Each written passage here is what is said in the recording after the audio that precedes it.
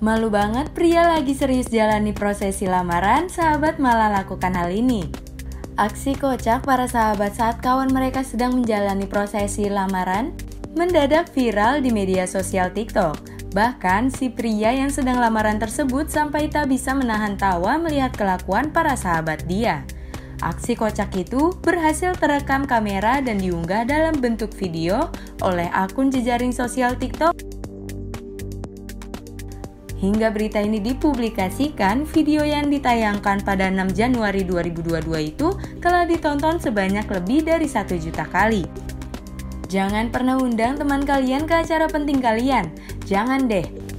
Tulis si pengunggah dalam kolom keterangan seperti dikutip oleh beritahits.id Jumat 7 Januari 2022.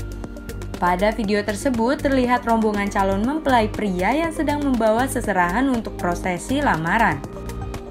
Awalnya tidak ada yang aneh dalam rombongan tersebut. Hanya saja wajah si calon mempelai pria tampak tegang. Meski begitu, mereka tetap berjalan menuju ke sebuah bangunan. Si calon mempelai pria pun masuk ke dalam ruangan, sementara para sahabat yang tadi ikut mengantar hanya bisa melihat dia dari balik kaca.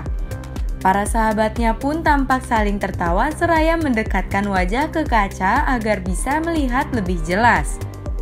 Lalu terdengar suara salah satu dari mereka yang sibuk menggoda si calon mempelai pria. Ketawa goda salah satu dari para sahabat itu. Awalnya si calon mempelai pria masih bisa menahan tawa dan tetap menunjukkan wajah serius. Namun ketika sahabatnya melontarkan celetukan kedua, dia dan sang ibu pun tak bisa menahan tawa.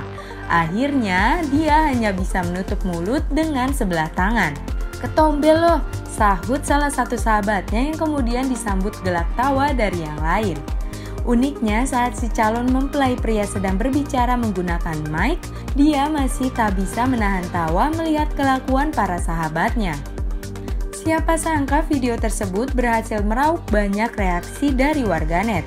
Komentar yang masuk pun mencapai lebih dari seribu.